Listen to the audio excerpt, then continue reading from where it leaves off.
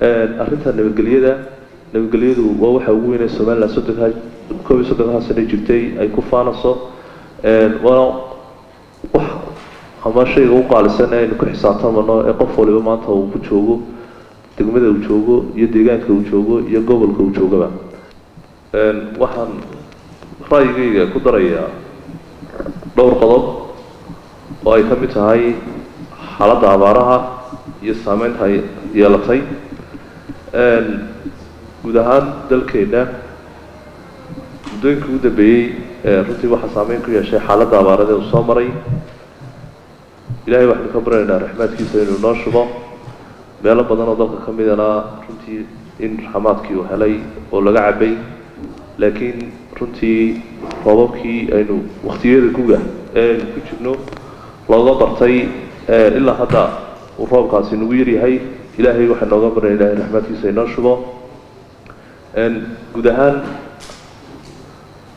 wuxuu u baahan yahay talo qaran oo xaaladaha noocaasa oo sanadihii u dambeeyey aynu la daalaadhacanay aynu uga baahan nahay inaynu talo wax ku oola oo dalka iyo dadkuba ay ka faa'iidaan iyadoo runtii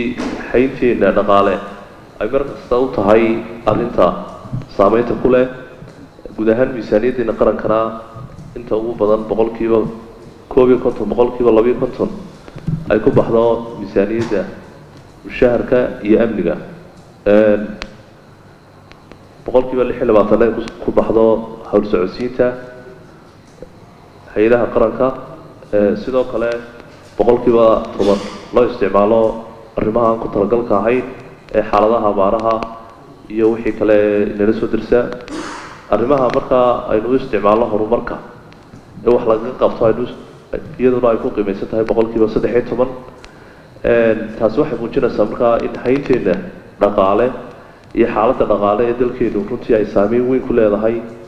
oo ha noqoto arrimaha bulshada wixii wax lagaga qabanayay caafimaadkii iyo waxbarashadii iyo adeegyadii kale bulshada iyo hadday kaabayaashii noqoto waddooyinkii iyo eraboodadii iyo dhismayaasha kale ee qaranka iyadoo arrimahaasi ay jiraan haddana arrimaha markaa saameynta ku leh xaaladda abaareed oo aynu u baahannahay inaynu helno biyo xidheenno ay dadku ama wax ku beeran karaan ama waktiyada abaaraha ama jilaalka aynu kaga bixi karno ay u baahan tahay biyo xidheennadaasina dhaqaalo ku filan oo lagu sameeyo. Waxaan soo jeedin lahaa in la daraaseeyo meelaha markaa ku habboon ee laga samayn karo degmooyinka iyo gobollada iyo intaa baahideenu tahay iyo waxaynu ka qaban karno qalabka loo baahan yahay miisaaniyadda ku baxasa. Arrintaas waxaynu dareensanahay inaynaan sanad iyo laba waxba kaga qaban karin laakiin uu qaranku ka yeesho qorsho dheer oo qalab ahaan iyo dhaqaale ahaan arrintaasi lagu koforgarayn karo oo arrintaasi wixii markaa waktiga iyo dhaqaalahaba runtii si dhow iyo si qoto dheer intaba loo daraaseeyo markaan u gudbo xaaladda sixir bararka dabcan sixir bararku waa wax guud ahaan dunida saameeyey gaar ahaanna ay keentay xaaladaha dagaal ee dunida ka jira iyo xanuunka covid nineteen sanadku labada kun iyo sagaal iyo tobankii qarxay iyadoo wax soo saarkii dunida iyo warshadihii iyo waxbeeristii intaba ay saameyn ku yeelatay transportationkii iyo isu socodka alaabaha ee dunida iyadana sidoo kale ay saameyn weyn ku yeelatay. Dalkeenna waxaa lagu qiyaasaa dalalka aan wax soo saarkoodu aadka u hooseeyo ama aan waxba la soo bixin. Ilaa shan boqol oo kun oo qof ayaa lagu qiyaasaa adeegyada ina soo gaadha hadday tahay maciishadda hadday tahay huga iyo dharka hadday tahay infrastructureka iyo qalabka markaa dhismaha ee aynu isticmaalno. Dhammaan adeegyada markaa nolosheena ku xidhan tahay sidaa darteed maadaameynu nahay runtii dal wax soo saarkiisu uu hooseeyo amaba wuxuu la soo baxay aada u kooban yihiin. Dadka u adeegaya hadday warshadaha markaa adduunyada kale ay markaa ay ku xidhan tahay tahay iyo haddii ay tahay jeenka iyo silsiladda markaa uu ay soo marto waxa lagu qiyaasaa ilaa shan boqol oo. Kun micnaheedu markaa dhaqaalaheenu wuxuu u baxaa dibadda oo dalka dibaddiisa ayaynu runtii aynu ku xidhannahay sidaa darteed maciishadda iyo quutadaruuga dalkeenu uu ku xidhan yahay boqolkiiba shan iyo sagaashan. Saameynta ka yeelatay adduunyada kale haddii qiimihii lagu soo qaadaya alaabta iyo haddii qiimihii lagu iibinayay intuba ay kordhaan ganacsatadeeduna waxay sii duldhigayaan dadka. Marka talo qaran oo runtii mugle oo miisaanle ayay nooga baahan tahay qaabka aynu wax soo saarka dalkeenna aynu uga fikiri lahayn sixir bararkuna uu saameynta ugu weyn ku keenayo bulshadeena arrimahaasi markaa waxay nooga baahan yihiin in wax soo saarka beeraha iyo xoolaha iyo warshadaha intaba qaabkii aynu wax ula soo bixi lahayn aynu ka fikirno dhaqaalaha ku baxaya iyo waxa xaydaabka ka ah oo warshaduhu ay ku yihiin korontada oo qaali ku ah miisaanidii sannadkii dhaweytoole xukuumaddu waxay soo raacisay in la sameeyo dhulka warshadaha ama industrial zone. Sidaa darteed qodobka labaad ee caqabadda ku ah in loo helo koronto jaban oo warshadahaasi dalka. Ama wixii hadda ka dambeeya muwaadiniintu ay qorsheynayaan in layla yimaadaan. Dowladduna ay runtii u baahan tahay in la helo goobtii wax soo saarka tabarta si warshadahaasi markaa koronto jaban oo adeegaasi ay ku soo saaraan ay u helaan. Arrimahaasi markaa waxay kor u qaadayaan wax soo saarka gudaha waxay keenayaan in muwaadiniintu shaqo ka helaan waxay keenaysaa in dhaqaalaha warshadahaasi iyo cidda ka shaqeynaysa ay ka helaanba gudaha waddanka lagu isticmaalo. Qodobka kale jecelahay iyada inaan halkan aan ka tilmaamo arrinta suuqa waaheen masiibadii dabka ee dhowaan bisha abril raanteedii ku habsatay suuqa waaheen oo ahaa suuq ganacsi oo muwaadiniintu ay runtii iyo dad badani ay ka shaqaysanayeen. Dhaqaalahooduna uu ku xidhnaa waa musiibo qaran oo dalka taabatay waa musiibo qaran oo muwaadiniinta taabatay waa musiibo qaran oo ganacsigeena iyo dhaqaalaheena saameyn ku yeelatay. Ilaa hadda muwaadiniinta iyo xukuumadda iyo dadka kale ayna caawiyeyba runtii si wanaagsan oo qiimale ayaa looga howlgalay jaalidaha dibadda iyo ganacsatada iyo muwaadiniinta. Cid kasta oo dadka muwaadiniinta waxtaraya oo dhaqaalaha ka baxay runtii wixii lagu kabi lahaa hadday dhismo tahay iyo haddii ay tahay wixii jiirkooda ka baxayba. Waxaynu ku boorinayna ku bogaadinayna insha allah in dadka muwaadiniintii ay sii lebilaabaan oo sii saddexlaabaan ilaa aynu yoolkeena ka gaadhano tallaabooyinka loo baahan yahay ee aan jecelahay inaan ka soo jeediya waxaa ka mid a in dhismaha suuqaasi la dedejiyo si muwaadiniintu markaa sida ugu dhaqsaha badan laga bilaabaan ganacsigoodii suuqaas ahaa goob istraatiiji ah oo runtii xuduntii wadihii magaalada ku yaalla muwaadiniinta intii meheradooda ay kaga guteen iyo intii ka shaqaysanaysaba haddii markaa dhismaha la dedejiyo wixii cawil celina ee loo heli karaana ay keenayso inay markaa shaqooyinkii iyo ganacsigii ay dib u yaqleelaan markaa muhiimadda koowaad ee la saaro arrinta dhismaha suuqa oo ah arrinta ugu muhiimsan ee suuqaasi dib loogu yegleeli karo muwaadiniintiina ay runtii shaqooyinkooda dib ugu bilaabi karaan. Wixii ka soo hadhana in xoolaynta ganacsiga iyo wixii markaa dadka jeebkooda dib loogu celin karo inta awoodooda wixii tabanana dhigtay. Marka hawsha socota waa bogaadinaya guddida hawshaa gacanta ku haysana waxaan leenahay jazaakum allahu khayr aljazaa xukuumadda iyo muwaadiniinta iyo ganacsatada iyo qurbi cid kasta oo wax ku darsanaysaa waxaan leenahay alla idinka jazaaysiiyo qodobka xiga markaan u soo noqdo xaaladda doorashooyinka ee waktigan taagan runtii dalkeenu wuxuu ku soo caalamaalay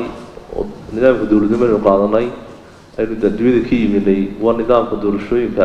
aynu isdooranayno ee golayaasheena lagu dooranayo ee madaxda qaranka madaxweynaha iyo madaxweyne ku-xigeenka lagu dooranayo golayaasha deegaanka lagu dooranayo. Doorashooyinka u dambeeyey runtii somalilan waxay u keeneen sumcad weyn oo keentay nooca doorashaynu qabanay iyo gobolka ku naalno sharaf weyn. Arrimahaasi geedi waxay mudan yihiin in halkaa laga sii wado oo nidaamka doorashaynu qaadanay. In la dardargeliyo doorashooyinka aynoo taagan aynu qabsano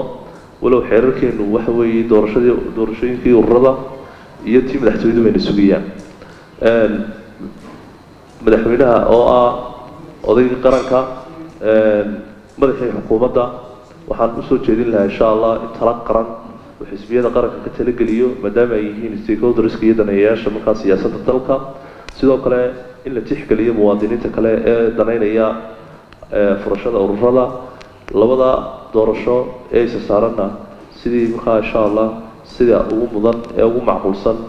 ee dalkana u turhasa loogu go'aan qaato. Laakiin arrintaan runtii soo dhaweynaya een xukuumaddana ugu baaqaya madaxweynaha lagu baaqaya in doorashooyinkaasi in la qabto oo waqtiga ugu macquulsan ee dhaqaalaheeda iyo waqtigeeduba inoo saamaxayo sida ugu dhaqsaha badan aynu u qabanno waa arrin dowladnimadeena iyo nidaamkeena ka iibgeynaysa caalamka arrintaynu u soconay yoolkeeda aynu hiigsananana ay tahay in somalilan laga iibiyo dunida. Si ay rumaha ururada caalamiga hadday qaramada midoobo tahay iyo hadday africa tahayba aynu uga mid noqono oo somalilan wax badan ay kaga xadhiban yihiin. Nidaamkeeda dowladnimo iyo la tacaamulka aynu dunida aynu rajeynayno in dalkeenu uu noqdo dal dunida wax la qaybsada ganacsiga iyo waxqabadka kale ee adduunyada la qaybsanano khayraadkeena aynu soo saarno intaba runtii waxyaaba fara badan oo ay nagaga xidhan yihiin arrinta ictiraafka iyo inay dunida la macaamilno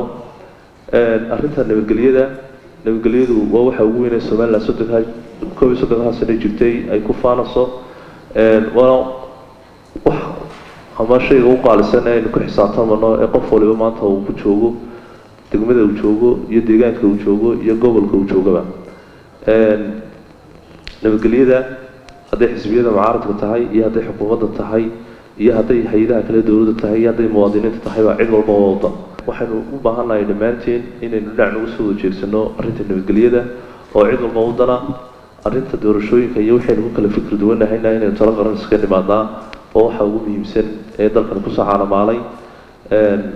haddii shalay ay ka talinayeen maantana inta talada haysa iyo inta runtii hareeraha ka taagan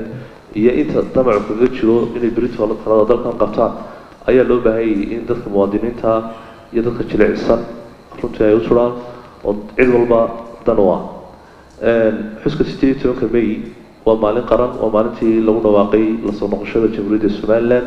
waxay nooga baahan tahay inaynu runtii waxyaabaha wadajirka ah ee dalkeenu uu ka midaysnaa bay ka mid tahay xisbiyada mucaaradkana waxaan ugu baaqanaa insha allah in si wada jira ay uga qeyb qaataan xuskaasi oo aanay runtii gaar baan ugu qabananaa iyo kala qaybinta ummadda aanay ka shaqaynin. Laakiin arrintaasi u baahan tahay maalmaha aynu runtii ka midaysannahay ee qarankani leeyahay ay ka mid tahay. Waxaana rajeynayaa insha allah in arrintaasi ay dibeegis ku samayn doonaan. Waxaa kaloo jecelahay arrinta mudanayaasha mudanayaal. Mudanuhu xor buu u yahay fikirkiisa inuu ka dhiibto xaaladda taagan ee dalka iyo waaqaca markaa jira. Iyadoo uu xisbi ka soo baxay iyadoo uu gobol ka soo baxay haddana muhiimadda koowaad ee qof waliba halkan u fadhiyaa waxay ka turjumaysaa. Danta koowaad aynu halkan u nimidnay inaynu danta qaranka aynu ka turjino dadkeena iyo qarankeena iyo bulshadeennana runtii wixii masiirikooda taabanaya inaynu insha allah si togan oo positive ah oo runtii wax dhisasa hadday xukuumadda tahay iyo hay'adaha kale dowladda tahay intaba aynu u toosino waxa weeye waa mas'uuliyadda koowaad eena saaran hadalka halkan ka baxaana wuxuu taabanayaa muwaadiniinta. Sidaa darteed muwaadiniintii shalayna dooratay waxay noogu waxa weeye han weeyihiin hadba qiyamka iyo sharafta xildhibaannimo iyo karaamada qaranka aynu huwanahay inaynu ilaano oo aynu nahay qeyb ka mida dowladnimada laakiin aynu u baahan nahay in hay'adaha kale dowladdana wixii ka qaldan aynu kula xisaabtano oo aynu toosino oo aynu tilmaano. Ugu dambeyntii waxaan halkan uga dacaynayaa insha ilaahay dalka nabadgelyadiisa taabaqalka ee runtii meel wanaagsan marasa inoo ilaaliyo dhalinyarada iyo dadka iyo bulshadana allah laynoo barakeeyo raxmaadkiisana allah inoo shubo waxay noo rajeynayaa in somalilan oo runtii